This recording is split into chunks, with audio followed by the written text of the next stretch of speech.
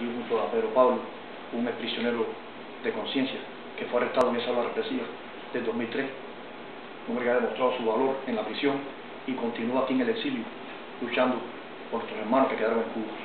También me, me complace eh, compartir este panel con nuestro hermano eh, que durante todo este tiempo eh, estuvo al lado del pueblo cubano. Eh, quiero decirle que nunca antes la oposición interna se sintió tan protegida, tan segura, como cuando estuvo Keyson ahí en la oficina de interés. Yo soy testigo de eso, que en innumerables ocasiones él nos invitaba a su casa, allá en Cuba, a las recepciones. Y coincidimos, usted y yo coincidimos también. La recepción está coincidimos muchos opositores dentro de Cuba, ahí nos invitaban allí. Y bueno, teníamos posibilidad de compartir criterios, opiniones, eh, y, bueno, y conocernos eh, entre, entre nosotros mismos los, los opositores.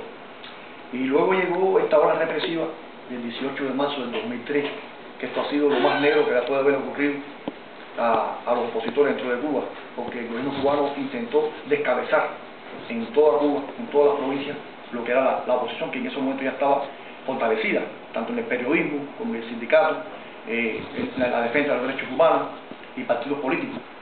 Y, y, no es menos cierto que uno hizo su, su gran hueco, hizo verdaderamente hizo su, su, su su daño.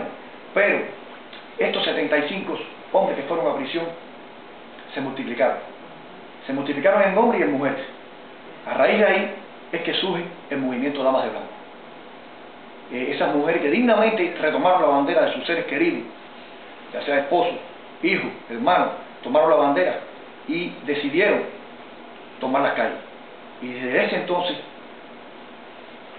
hace siete años, esas mujeres desfilan por las calles habaneras, desfilan en toda Cuba, porque no solamente en La Habana, en todas las provincias, desafiando al régimen, pacíficamente, vestidas de blanco.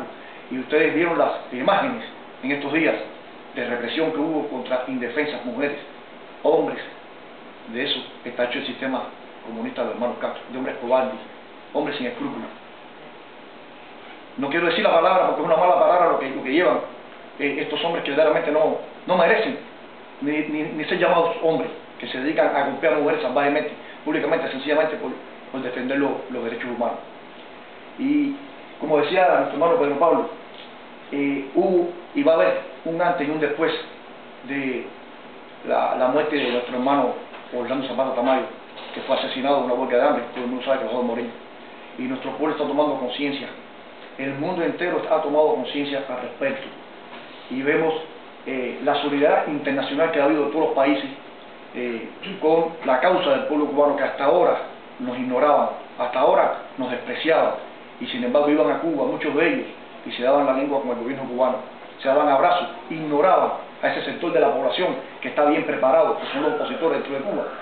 No pedían visitar a, en las prisiones a los que están sufriendo por cuestiones políticas.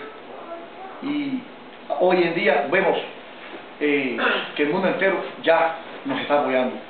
Nosotros le pedimos a cada uno de ustedes que son estudiantes de aquí de la universidad, quizás muchos de ustedes sean hijos de cubanos, muchos de ustedes seguro nacieron aquí, no importa la cantidad que haya en este momento aquí, porque Cristo con 12 hombres, después de dos mil años todavía se habla de Cristo y, que, y lo adoramos y lo queremos más. Quiere decir que no importa la cantidad sino la calidad.